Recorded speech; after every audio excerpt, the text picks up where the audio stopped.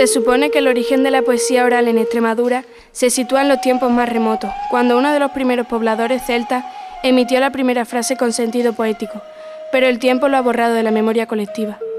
Por el contrario, la piedra con su perdurabilidad y el culto a los muertos han permitido que hoy se conserven huellas de un primitivo lirismo en las estelas funerarias de las necrópolis de Augusta Mérita, que se convierten en poéticas cuando sus autores anónimos comienzan a incluir en sus textos consideraciones existenciales con un tono trascendente como en esta inscripción de Julia Sotira.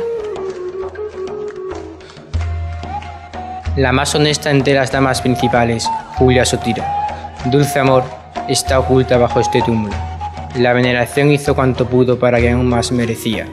Tú que lees esto, quien quiera que seas, di, séate la tierra ligera.